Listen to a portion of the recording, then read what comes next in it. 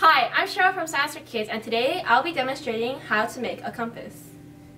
The materials that we will need for this experiment include a magnet, a piece of wax paper, a T-pin, and a bowl of water. Be careful when handling the T-pin as it is sharp. First, I'll take my T-pin and my magnet and work on the side of the table. I'm gonna grab one side of the pin, I'm using the pointier side, and then one side of the magnet, and then rub it 20 times like this. Make sure it's a circular movement and not to go back and forth.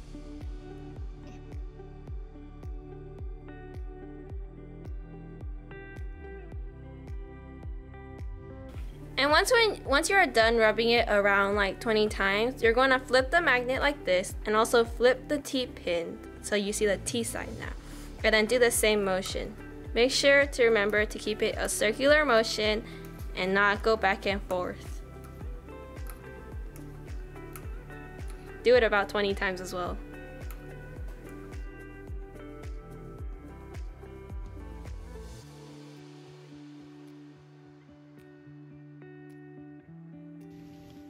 With the pin fully magnetized, we're gonna grab a piece of wax paper and then kind of thread it in so it stays in place by poking two holes. Make sure not to poke yourself. It should look like this. And then now we're gonna drop it in our bowl of water. You have now made a compass and soon enough it should be pointing north. Make sure to keep the magnet far away from the pin as so you won't interfere with its magnetic pole.